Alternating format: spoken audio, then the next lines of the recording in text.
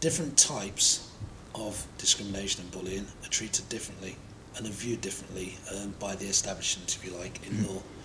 Um, and like I say, we could pick up possibly any newspaper today and see and find examples of um, some form of racial discrimination, religious discrimination, or sex discrimination, or discrimination on the grounds of, of disability.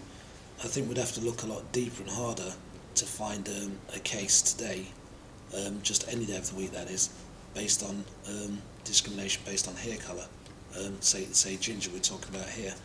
That may be for many reasons. One, some people maybe don't think they're protected in law. On the other side, um, the severity of the impact may not be severe, so severe, or people may not see that they'd be taken so seriously, so maybe it's underreported.